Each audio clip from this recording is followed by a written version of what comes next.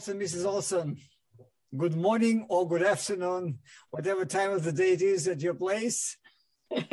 Thank you. Good evening to you. Good morning from us. oh, that's right. We're we have a 10 hour a 10 hour difference yeah, yes. between Moscow and your place. Uh, yes. Uh, first of all, I would like to say thank you so much for joining us for our Fall Educators Conference. And oh, you're very you're very welcome. We always love to come to to Moscow and be at your educators convention. And because of the pandemic, we can't travel, but we're here. exactly this way. We we actually we were hoping that uh, this year we would be able to gather more people. And uh, as you are aware, last year was our 30th anniversary that we moved to this year in hope that this year would be offline. But somehow we have to enjoy the hybrid version of our conference. And yeah. but we're very happy that you join us.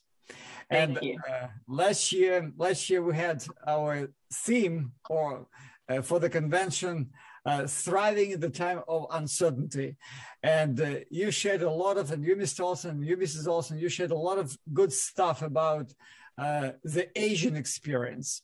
And uh, we were able to use some of, of your thoughts and ideas and encouragement in our area.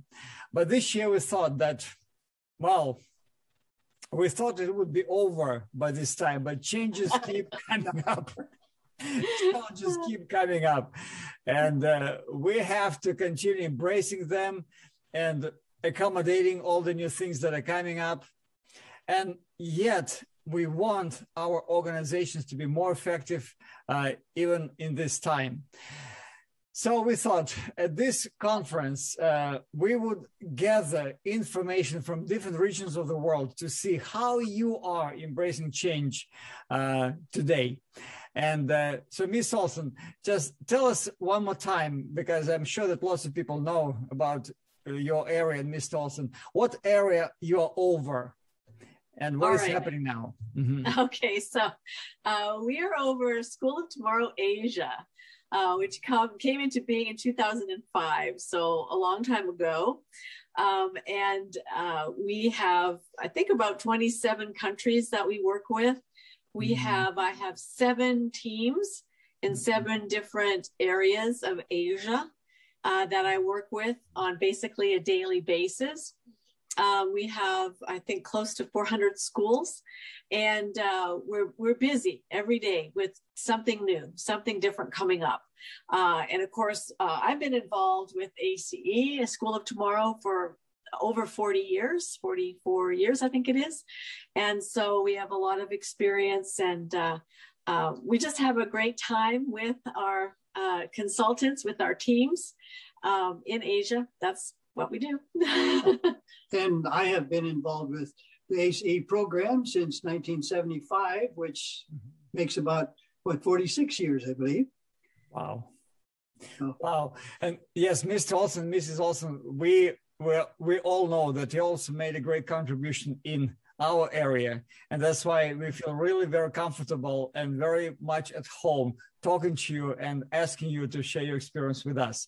Okay, Mrs. Olson, specifically which countries you're working with because you said asian area but some people you know they have different ideas what asia is all about yes well our, i'll give you maybe the the seven main areas i mean mm-hmm. i work with uh, many countries uh, a lot of them have consultants so for instance india would be one area with a mm-hmm. consultant there and then uh, pakistan and then there would be far east asia which would be thailand um, Myanmar, Laos, Vietnam, and then uh, Japan, and then Korea, and then uh, Malaysia, and Singapore, and um, China, Japan.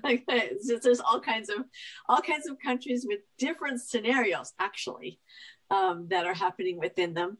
And I'm also responsible for the countries in the Middle East. So yes, it's all very interesting. It's very interesting. It's very interesting because once you have this uh, this area that is so wide and so wonderful, uh, you can really have a lot of input from different, like you said, consultants. And uh, my question is, do you keep in touch with, um, do you keep in touch also with Canada? I once in a while we talk a little bit, but yeah.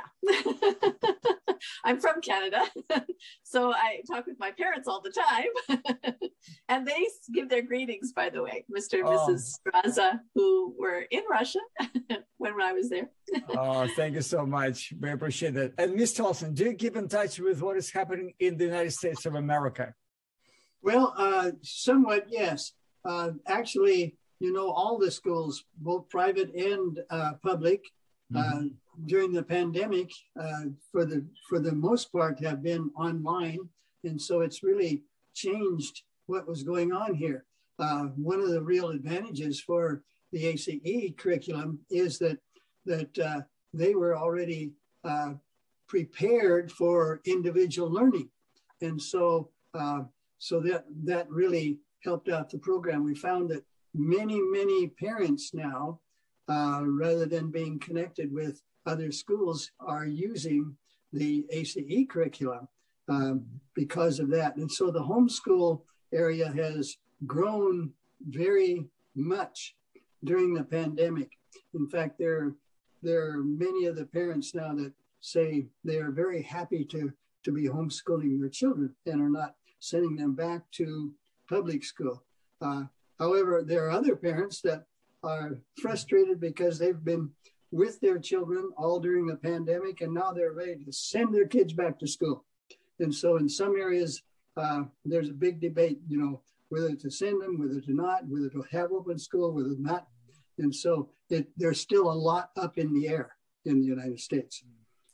Uh, you see, I just wanted to also to, to mention for the sake of our conference that the subtitle of our or subtopic of our con- conference is, uh, uh, I'll just I'll read it out loud, is educational tools, uh, motivational strategies, approaches, and tools for increasing or making your organization, your school more effective. And I would say when we say your school we mean parents students and teachers and uh, administration everybody. So from what we already you already shared mr olson so the first thing is that number one those who were involved with the school of tomorrow and were familiar with the individualized approach not just uh, like giving a lip service to this term but really working with it and knowing how to work it so they really benefited uh, from this approach when the pandemic uh, kicked in. And secondly, you mentioned about the parents that uh, uh, many parents now switch to homeschooling. And I will say that now at the International School of Tomorrow, we have 3,100 homeschoolers. Yes. And yes. they are doing the Russian program. Some of them do the School of Tomorrow as well. But you, I, I would uh, totally agree with you that parents find it instrumental to switch to homeschooling versus going to school in person and doing it offline. Though, of course, there are pros and cons, and we'll talk about it maybe later in our in our session. And Mrs. Olson, you mentioned such countries, for example, as India. I am personally interested in India. What is going on yes. there? Like, what kind of changes took place and how the schools are handling all those changes. Right. That was um, uh, quite the, the deal because in India, I don't think that they really acknowledged the pandemic. Everybody kept kind of, you know, going on, except for they did close down the schools, all the mm. public schools, all, all the schools. And in fact, the schools are not even open at the moment. Mm. Um, and so they've just kept the schools closed. And so uh, our schools went online, um, and it was quite the challenge for them mm-hmm. because uh, parents would either be working or not or whatever, but they have a set of parents that are mm-hmm. involved. It could be the grandparents or the parents, and they became involved and they became involved and understood and learned to understand the program more. So it actually was a very good situation because the parents uh, would leave the kids at school or the students at school and then just expect some some miracle to happen and everything would be fine. But now that we went online and they understand what the students need to do every day they are really learning and understanding and appreciating the program more than ever. So it actually has been um, a good experience. I mean it's it's hard work for the supervisors, for the teachers, for the monitors, for for everybody involved. But it has become something that they've uh, loved to do, and uh, I've been able to uh, go online when when some schools have been online and go into their Zoom rooms or their learning centers.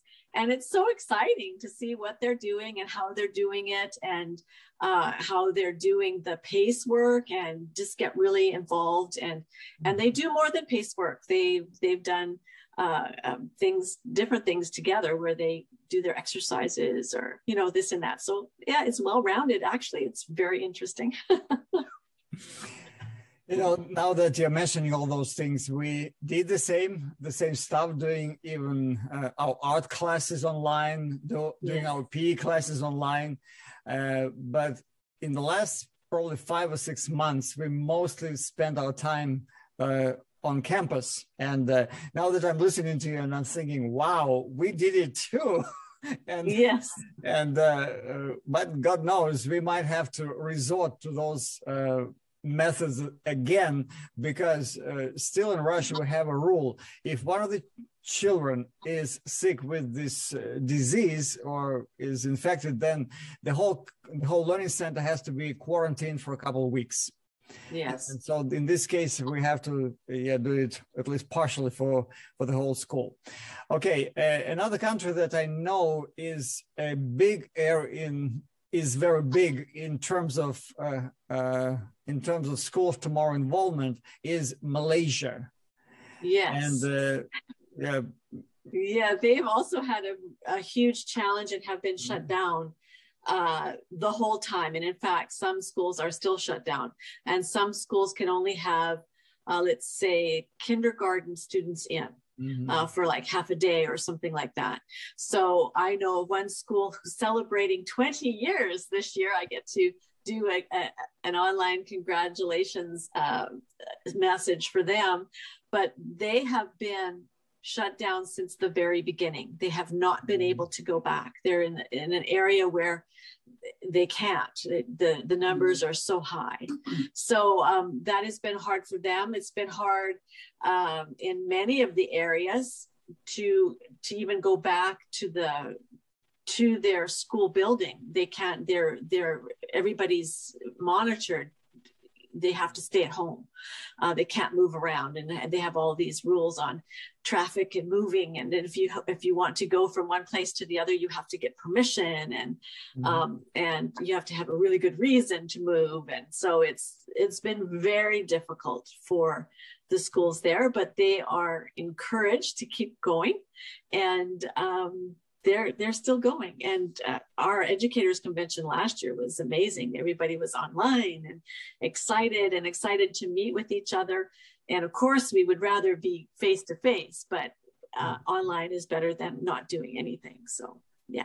Uh, you know now that you you've mentioned very interesting things about uh, actually the real lockdown in many countries uh, that as i mentioned already also uh, we were blessed not to not to have it for too long a time. So, and they say in many reports that uh, today uh, a so-called digital inequality is increasing, meaning that not everybody has internet, not everybody has gadgets, or not everybody has proper gadgets. And even in Russia, some families have three or four children, and they have to share one computer. And this one computer might be used even by mom and dad for their online work. And then, of course, it makes a mess. It makes it a mess for everybody. So, how is it happening in the countries of your area? For example, in Thailand, in Myanmar, in Laos, Mm-hmm. Right. And so, uh, yes, the countries are very different. I actually didn't hear very uh, uh, much trouble for Far East Asia, which you just named those mm-hmm. countries there. Um, mm-hmm. I did, there are some issues with internet availability, but maybe not mm-hmm. necessarily. Uh, um, devices they can they can get devices the issue for devices would be pakistan or mm. india a little bit but india has a lot of devices but um, uh, malaysia also had a, lot of trouble with uh, internet connection And so that would be uh, more so than necessarily devices, I think. Mm, okay. So then digital inequality is not the issue for Asia. So that would, would that would be that would be uh, there is something to be expected because yes, Asia yes. is known even in Russia for being a gadget like heaven. yeah. Yes. There, there, there, are some there are some areas where some of the people have not had uh, internet devices, but have borrowed from maybe mm. an uncle or something. Right, like that, that would be Pakistan. Yeah, and and, and, uh, and, so they have they have come up with with uh, with ideas and ways to to make it work. Yes. Mm, I see. All right. Uh, then I also wanted just to ask you about this this uh, uh, another issue. Uh, do you think uh, teachers, parents, maybe students especially, do they feel uh, like they are in social isolation these days? Because they're on the lockdown, as you mentioned, they have to report, or they have to even. Some people have devices that uh, that they're monitored where they are. So, what would you say about this? Yeah, I, I think it I think it depends on the person. Uh, from mm. what I've seen or heard, some people love to be by themselves. So the mm-hmm. social isolation was not a problem for them. Although, after so long, if they couldn't go back for, to school for a little while, mm-hmm. it becomes monotonous after a while. Mm-hmm. Um, but those mostly everybody really wants to get back to, to, to on site. Um, in fact, in Malaysia when they were able, there was a little break in some places in Malaysia, not in every place, but in some mm-hmm. places where they could go back online. It was like they felt like they were in heaven. They were back together again and that they were so excited to be together, even though they had to uh, follow all the standard operating procedures for this. They had to be six feet apart. They had to wear a mask and they had to do this and they had, mm-hmm. had to do that. They were just so happy to be back together again. And then, of course, that was short lived and then they had to go back online. But most, uh, yeah, most everybody wants to be back together again. I see. And how about high school students? Uh, that's uh, because in many in many countries, the universities uh, are not available anymore for foreign students. For example, our Vitaly, he wanted to go to an Australian Australian university. In a way, he wound up? He wound up in the Russian military. Yes, mm-hmm. yeah. Because uh, he he could not go to a university and he decided why then bothering and he decided to go to the military which is an obligatory service in russia and he's studying now.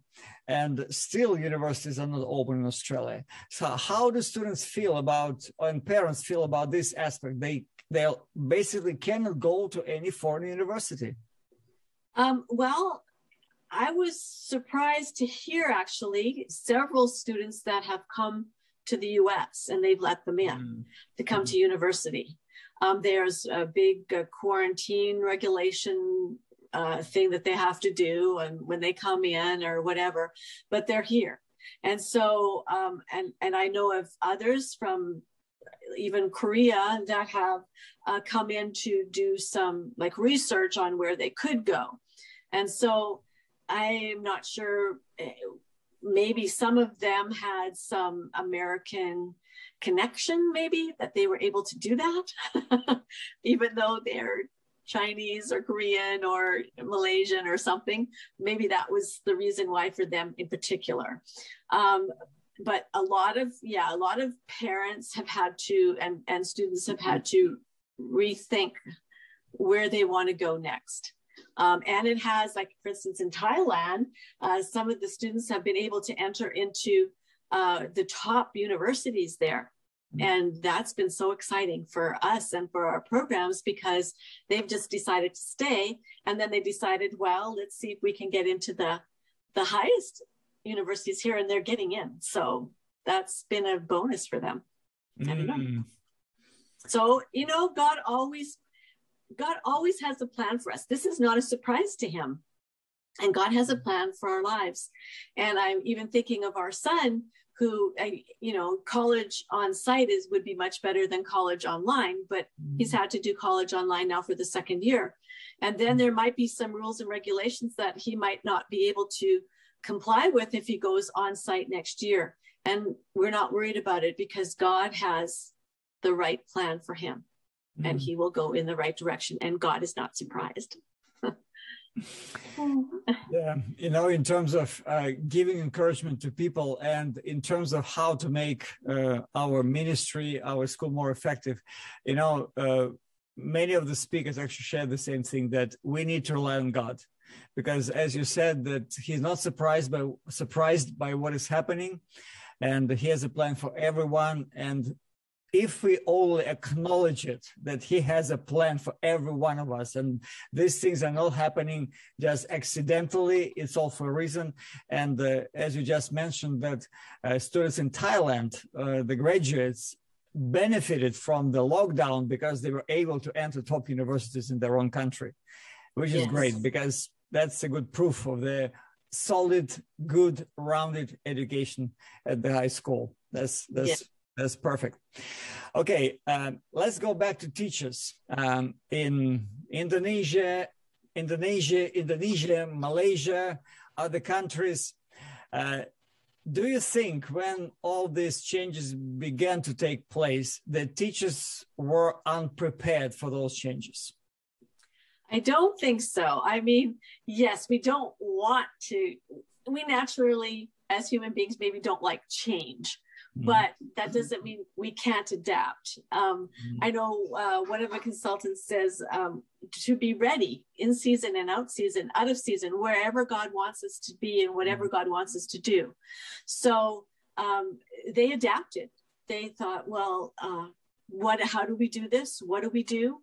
And uh, and it became actually uh, more uh, simplistic than other programs because we have an individualized program. All we had to do was we didn't have to create a particular curriculum to be online. We took what we had and we, instead of being in the learning center, we were at home. And that's the basics of it. Now, of course, there's the specifics of how to score and how to do a test because we don't want to uh, to to give our score keys out or things like that. But they figured it out and they do it and it works. Now, and this is an interesting uh, extension of, once again, the concept of the individualized program because every student, you need to individualize his program. Now, you've got to individualize even greater in the new situation. And, and so the, the supervisors have, have gone through training. They, they know what to do for an individual student. Then when a when a different scenario comes up, then they then they're able to adjust without so much difficulty. Uh, some of the some of the uh, schools that have uh, that have had uh, you know teacher oriented uh, classrooms mm-hmm. now they those many of those teachers have had a very very difficult time adjusting, but those that have been using the ACE program, you see, have have uh, have a real advantage they've adjusted very well and quickly. Okay, Mr. Olson, then I have a question to you, and it's a loaded question. Uh, okay. Uh, some, some of the studies say that, uh, of course, uh, with all the changes coming up, and uh, people had to plunge into technology because they had to use Zoom and uh, like Google things and whatever. And some say that uh, that those people of age had a more difficult time adapting to all the new technologies. So, would you agree with that? and, if, and, if, not, why? all right. Well, you you uh, you probably have gotten some good information there because I think that that's probably true. We that have a few more years on us, you know, we become a little more set in our ways, mm-hmm. and it's a little harder to uh, make some of those adaptations. But with the ACE program, mm-hmm. even we older uh, generations have have uh, have seen the need to adapt. Mm-hmm. And really, when you think about it, uh, five years ago we did not have the technology that we have today, which mm-hmm. allows the online uh, uh, presentation to to go so so well. and uh, and of course you just jump in and you have to learn, and and uh, and you can do so. And and I thank God for the advances in technology which has allowed that during this time. You know, when I said the, the question was loaded, actually the study shows that age has nothing to do with it. And they yes. say that a lot of people who are of age, they, I mean, when I say of age, I mean people older generation, so they were able to adapt. Uh, they might not have all the bells and whistles in technology, but but as long as they uh, were willing to accommodate those changes, they were able to use Zoom, they were able to use all the presentations, all the technologies, and vice versa. Younger generation teachers who would say, and I have, I have actually a teacher I know, and she would tell me, Zoom is not for me. Online is not for me. This is just, it gives me a stress. I'm not doing it. Forget about it. You know what? She was not able to do it and she would be stressed out every time she would do an online class and uh, that was a really difficult time for her and of course the learning of technology was not happening because she was opposing those things uh, right. uh, but the study shows that as long as we want to serve our kids we use whatever is available at the moment and uh, yes. The mere reason that you agreed to be a part of this online session it's the proof of the pudding in the eating but, but remember, you are eating it. But remember, Mr. Lynn, I'm only old on the outside. I know. You know, people should see how you're still doing this this stand on the on the pole, just just really making the whatever you're doing there. That's that's amazing. I cannot do it. I cannot do it. Oh, that's that's great. That's again, that's another proof that yes, it has to do on uh, everything has to do on the inside, however we feel, however we want to adapt. And uh, thank you so much for sharing that. I also believe that the School of Tomorrow teachers had a great, um, uh, great, gr- maybe not a greater, but really great ability to adapt uh, using the online, uh, using the individualized approach in the Learning Center on a daily basis. Yes, I had one of the consultants, I just mm-hmm. want to say this, put this in here. One of the consultants mm-hmm. just mentioned this he said, we need to be fat. We need to be faithful, uh-huh. available, and teachable. So I thought that would fit faithful, that. Fit available, and teachable. and teachable. That's good. That's good. Faithful, available, and teachable. That's great. Okay, uh, we have a few more minutes. Okay, for for our session, and um, uh, I wanted to ask you about the students. So that's what they say in the uh, modern research that the students today are more social media affected. They spend more time in virtual reality. They experience more health hazards. Uh, they're more independent from their parents and they're given to clip thinking. So, would you say these are the tendencies that students or your schools experience in the student body today? Uh, I'm not sure about that. and and of course, that's a general observation, I would think. Um, and our students, I haven't heard those specific um, complaints necessarily mm-hmm. because the students really they have goals.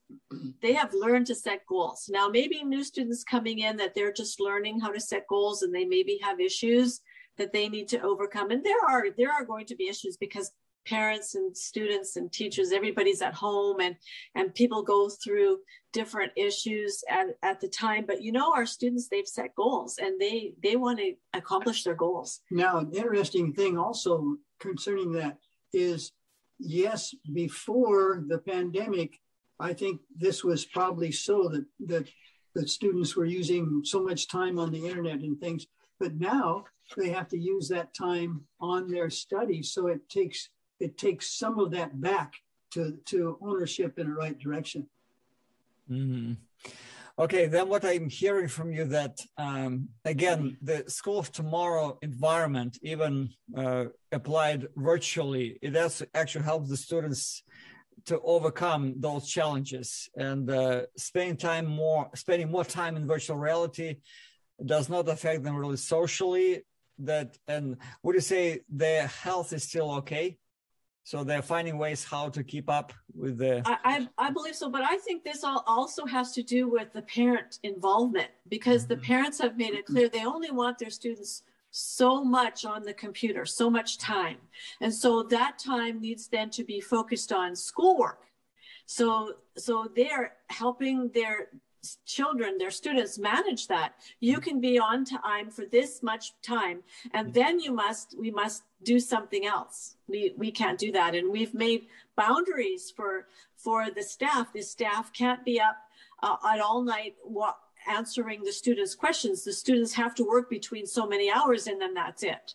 And so the it's it's a discipline of the parents also to be mm-hmm. more involved with their with their children because I think before the pandemic, the, the children were off doing something, the parents were off doing something, and and the, they just wanted some miracle to happen when they sent their students to the school, and it was up to the teachers to do something, and it was really hard for the teachers to get parental involvement. But now they've they've had to the parents have had to step up and and the parents that have stepped up have really helped their students and have really become they've become a family because um, one of my consultants said what we need to do is have more tools for the parents to understand how to raise their children and how to how to be with their students be be present. And so i think that's been a, a plus during mm-hmm. this time. You know as you were sharing about parental involvement, uh, it somehow triggered in, in my mind uh, the four basics uh, the school of tomorrow stands on. And one of them is back to parents. Yes, yes. back to basics. Yeah. Back to basics, back to God, back to an individual. But yeah. back to back to parents is is I think this is one of the things that we may say uh, is the key issue to make your school organization more effective i'm trying kind of to uh, to be pointing in the direction of uh, what people can gather from our talk uh, and can get from our talk. Um, so that's very good about parental involvement and so that this pandemic actually uh, somehow caused parents as you said uh, to be yes. more involved with the with the students. Okay yes now maybe in conclusion before mr olson i would like would ask you to pray for our conference. And before you say what you would uh, what your main message would be for the people about embracing change i want to ask you like a few questions. And if you if maybe both of you can answer if you want or at least one of you uh, and you can answer briefly or in a more expanded way. So First question What has been the hardest part about moving your classes online? When I say okay, your classes, so, means classes in general in your in the schools in your area. Mm-hmm. Right. Um, so I guess uh, there's different answers from different places, mm-hmm. but one of the hardest parts is having lost the atmosphere sense of the learning center. Mm. Um, so the students miss that, and they they have that disengagement of the personal touch of, of a, a, a, a, supervisor coming to a student's office and then having a direct overview and control of their pace work. Um, so mm-hmm. sometimes the the hard part of moving back to back home is the lack of discipline and order at home, and where they have have had to learn. Um, how to be more uh, disciplined so that their academics don't suffer. Mm. And basically, Miss also, you answered already the second question, uh, which which was, what do teachers miss about teaching in person? And Mr. Olson, maybe you can expand a little bit on this. What was the main missing part for the teachers about teaching in person? Well, of course, with uh, teaching in person, uh, students uh, facial expressions and the feedback you get from them. And it's just hard to teach in front of a video camera or a screen uh, because you see our reaction deals with with the other person and our association directly with them. And uh, and so it's, it's just it, it just involves that that be, being together And you know what? Not only it is difficult to okay to teach when students are behind the screen, but some students do not turn on their video cameras. That's right. Right, That's right. right. And you know, we we we actually we studied the law, and it says that actually we cannot force a student turn on the camera unless they want to. We can we can encourage, we can just you know give them motivational messages about turning it on, but actually it's um, and it's been a challenge for many teachers. Yeah, does especially teaching a blank screen. That's even worse than teaching a, a person whose face is on the screen. well, and, and in some areas, the, the internet is so poor that if you turn on the video, then mm-hmm. your your whole program is interrupted and, and really difficult. So so mm-hmm. that that is a part of the problem too.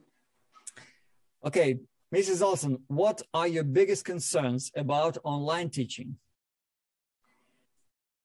Mm, I guess maybe um, if you're talking about an actual class, it would be uh, if the students focused, did they really focus on what was being said and how much information did they really retain for that, you know, online sort of class?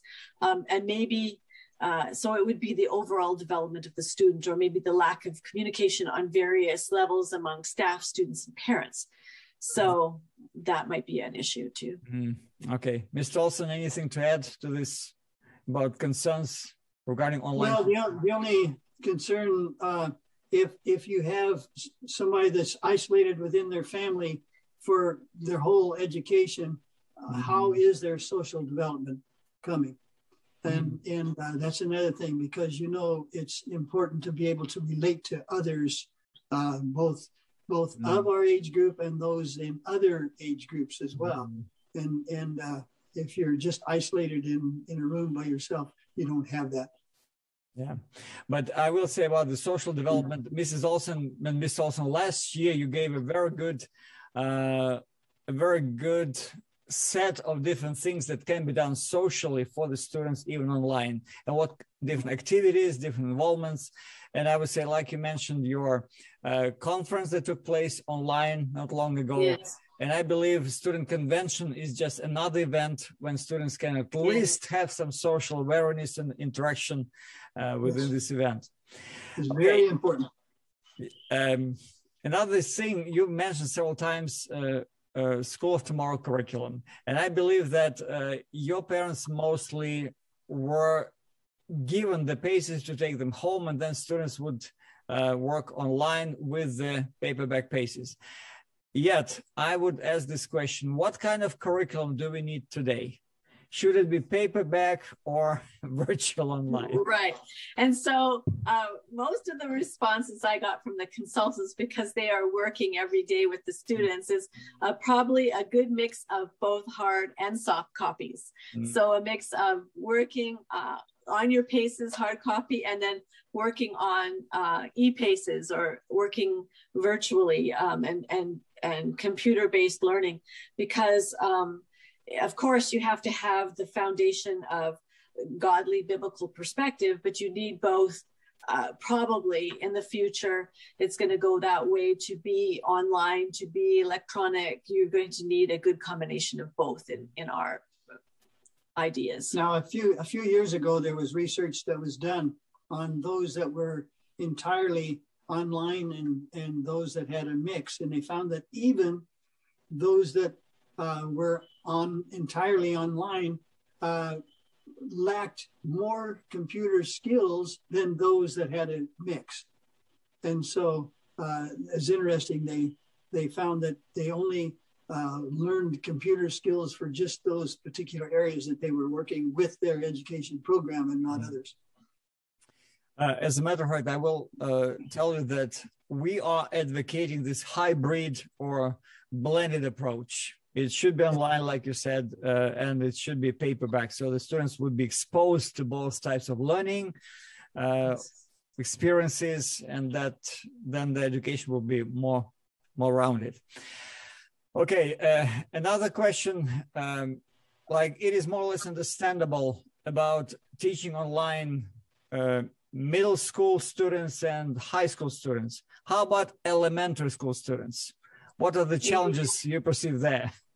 Yes, um, the, if they're working online at school, that might be different mm-hmm. than working online at home. But mm-hmm. if they're mm-hmm. working online at home, then they have to have the supervision, uh, close supervision of the parents, mm. along with the academic supervisors, uh, in order to to do that. But um, it's you know even for elementary students, uh, it's if they're online, it's easier to do the e-scoring and, and it's easy, easily uh, monitored and mm-hmm. by the supervisors and stuff like that. So, but there needs some kind of more of a, a monitoring than a, maybe a high school student. Yeah, I would totally agree with you, and I would like would love to underline it one more time for our conference that uh, when we work with our elementary students, uh, we need to be aware of the need for parental involvement on a heavier basis in, a, yes. in a more meaningful way than even with our older students. Okay, Mr. Olson, Mrs. Olson, you are, you are both involved heavily with the staff training. And so yes. my question is, what kind of shifting do we need in professional development of our staff today? Okay, well, are you talking about your tech experts or something like that? uh, the technical part should be yeah. The next question about the techy part, but yeah, it is it is actually com- let's combine both. Yeah, it's, so we've been training them in a certain way. Now there are, there are so many changes. So how do you feel? What should we introduce new into our training of the staff? Okay. Oh, sorry. Well, I was just going to say one of the most important things if if the parents are uh, mm. if if their students are more virtual and mm. at home, then actually our training needs to involve training parents mm. as well to understand the program mm. and to use it properly. Uh, and I just remember that having a, a parent in the learning center, uh, the, the parent had to really be trained and retrained, mm-hmm. even in the learning center, because the parents automatically will just want to help the student and give them an answer rather than give them the process to find the answer. And mm-hmm. you see, uh, so and, and so when they're in the home separate, then they really need more training to mm-hmm. help them to to do that and not just oh well Johnny the real answer is 47 and and and the student is not really becoming that independent learner but he's just mm-hmm. borrowing an answer to put in a blank. blank. Mm-hmm. And so that kind of training, I think, is really important. Right. And then, of course, if we're talking about our supervisors or administrators training, what do we put into that for our technical part? Well, if we're going to use the uh, e-training, the e-pace training that is mm-hmm. becoming available, that needs to have a whole session or more yes. uh, mm-hmm. on site on on it on it administrators or, or supervisors, especially supervisors training, mm-hmm. where they need to experience, they need to go to a computer and experience the e-paces so that they know what the student will experience and and also what parts they need to learn in order to run a learning center online because that is different. Okay, very good points. Number one, I would again reiterate for our conference that uh, we need to involve parents into the training, and uh, I think Mrs. Olson might be a completely different ball game uh, for us, for our schools, for our training. That we can actually run online training for parents, and our mm. training congregation can be much bigger, uh, so that, uh, of course, you being also involved with the model status. yes. inspections. I will say that at the international school of tomorrow we begin a series of trainings for parents and we go online we train them in procedures and how to work with the students. And then you mentioned about e-curriculum and e-paces of course at the moment only three subjects are available but praise god for that and uh, we also believe that, that our supervisors and monitors have to be trained in how to use effectively uh, also electronic uh, paces and electronic curriculum. That's that's wonderful. And I would also add to this that we also conduct training for our uh, staff how to use Zoom effectively because this is something that they can also um, apply in the in the uh, instruction and their curriculum delivery. Okay, okay. Uh, just to round it off, maybe I will ask you this question. So, from your point of view, how does School of Tomorrow address the new challenges of today? the new challenges of the day. Well, they need to provide tools and training necessary for the staff to constantly adjust uh, to a changing world while consistent, staying consistent with our divine calling. So that's a okay. short answer to the That's a good answer. That's a very good answer. And Mr. Olson, anything to add to this? Uh, no, I think I think that really sums it up quite well. We need mm-hmm. to be ready because of the, the nature of the program to to uh, to be ready for any challenge that comes along, and that means uh, mm-hmm. when something new comes along, we have some new learning to to do ourselves, and in order to to keep with our goals of of producing independent learners, individualized. Mm. What what is yeah, that? Yeah, this is this your fall educators schedule for 2005. wow. And yes, and so I was reading the sessions because you asked me the question. Mm-hmm. Uh-huh. Well, how do we how do we move forward in this pandemic? Where do we go? And I was thinking, well, what matters most? And this was by Dr. Howard, by the way. Uh-huh. um, and uh, uh, one of this, "Be not weary in well doing" by Mr. Len Stolarchuk. Oh, Be not goodness. weary in well doing. Uh, uh, the paradox of leadership what is the paradox of leadership? Being a leader but being a servant leader. being a servant right? Mm-hmm. um, uh, looking to the future. This is by um, some of the others that are that were there in, in russia. And um, uh, gear up for for the future going forward and uh, what was the other one? Oh, we shall reap if we faint not. All these things that I that I found there, and of course my my little notebook that I was writing, and I think this oh, was before yes. uh, before 2005, I believe. I, I, I can't believe I can read still read my writing from back then. I had a, a session on uh, from Mr. Len Stolarchuk, Heritage uh-huh. Matters, and uh, there are five points: mission mm-hmm. and vision Number one. Number two, biblical principles.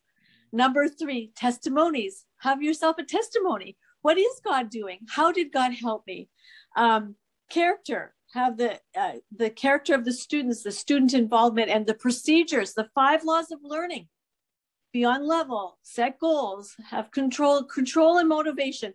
Measurable, rewardable, and then of course academic excellence. And so uh, you talked about that I talked about discipline, word of God, communication, how you walk, be an example, have love and kindness. And we talked about back to God, back to parents, back to basics, the individual, and uh, do all of this with love. So, how do we move forward in the future? How do we do that? By going back to the basics. God is not surprised, like I've said that before. We go back to the basics. We we go to our mission our vision, our calling. That hasn't changed. That should never change. We have a call on our lives, and we need to keep that and renew that and move forward. And God will bless that. And and so I it, it wasn't mine. This was that this was uh miss this was you, Mr. Len. So this was so excited. I just looked at all the wonderful notes that I took way back many years ago. How do we move forward? By renewing our vision and going back to the basics. Okay, Ms. Olson, Ms. Olson, one more time, thank you so very much for your sharing, for sharing your heart, because I know that what you shared is not just something that you do as your job, you do it as a ministry, you are involved um, personally with the consultants, with the schools, and this is this is really great.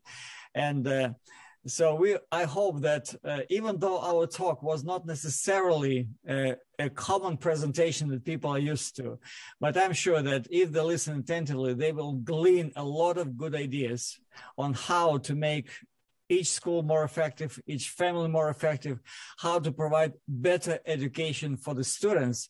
And we don't know what tomorrow will bring forth. That's what the bible is teaching us. We don't know.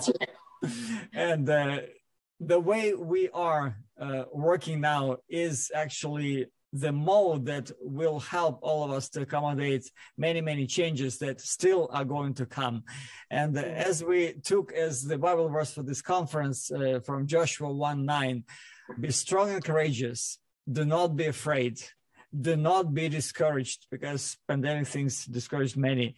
For the Lord your God will be with you wherever you go. And yes. so I believe that God is with us in Russia. God is with you in Asia, in every other country. And we believe that if we work together, if we work uh, under his leadership and his guidance, we can be very good and effective and be good ministers for our students. Amen. So, amen. So would you please pray for us and we'll finish our session with prayer. Please. All right. Oh, Father, we just thank you so much for for your goodness and your provision. And, and Father, we know that we don't have all the answers for the changes that will come, but you do. And, and Father, we just beseech you to, to, uh, to give us your wisdom and your understanding that we might be able to, to go forth and, and, and continue with the program for our students, Father, that they might grow in your nurture and your admonition. And Father, uh, we just ask you for this wisdom to come. In Jesus' name, amen. Amen. Amen. Amen. One more time. Thank you so very much, and God bless you. Thank you. Thank you. Thank you.